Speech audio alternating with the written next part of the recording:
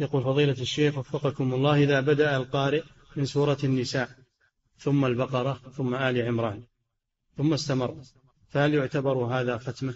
إذا إذا قرأ القرآن كله هذه ختمة لكن كونه يبدأ من من البقرة وينتهي بسورة الناس هذا أحسن لأن ترتيب السور مستحب أو واجب عند بعض العلماء. لكن لو أنه خالف وقدم بعض السور على بعض فلا مانع. نعم.